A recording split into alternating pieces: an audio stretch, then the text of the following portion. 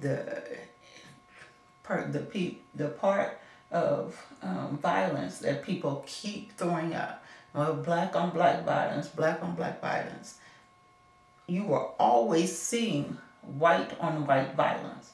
You were seeing white on white wars. You were seeing uh, white people mass killing white people, but it wasn't called white on white violence. So this notion of black people uh, killing black people became a thing that white people threw around a lot to make it seem like white, that black people were doing something that white people weren't doing. But you have to understand that it had only been a few, you know, several decades, a few hundred years um, that white people walked around uh, killing white people.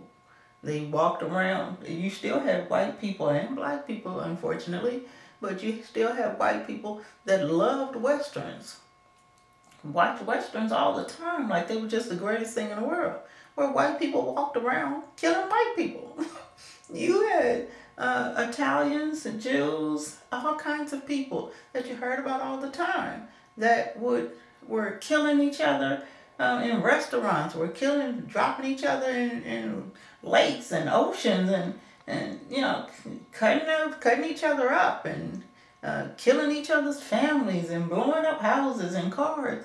Those were white people killing white people just a few decades earlier, and even the same uh, decade that they were talking about blacks, like blacks were were the people that were doing it, and it became a thing where you stopped hearing about white people and white people that were killing white people. And they had black people uh, always constantly saying that black people were killing black people.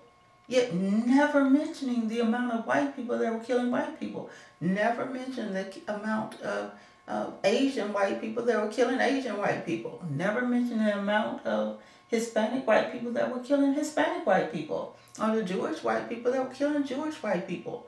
Italian white people killing Italian white people. They black people stopped even mentioning mentioning it, and the whole thing became the um, something was wrong with black people because they were killing black people.